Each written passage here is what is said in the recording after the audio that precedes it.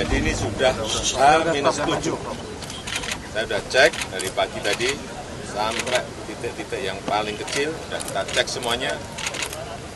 Dan saya ingin menyatakan kita siap menerima tamu-tamu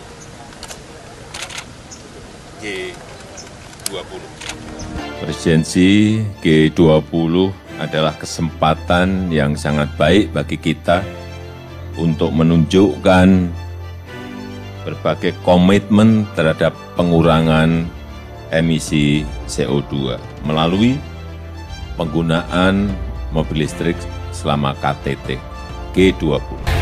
Jumlah kendaraan listrik berbasis baterai seluruhnya ada 252 unit terdiri dari satu yaitu mobil kawal sebanyak 42 unit.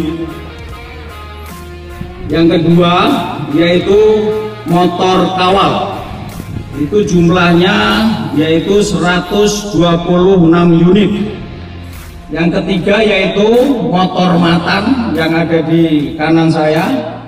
Jumlahnya 84 unit dan perlengkapannya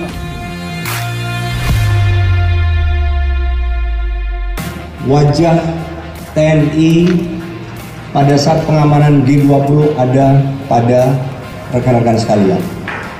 Wajah yang terlihat oleh para kepala negara asing yang menjadi tamu. Termasuk perangkat mereka masing-masing.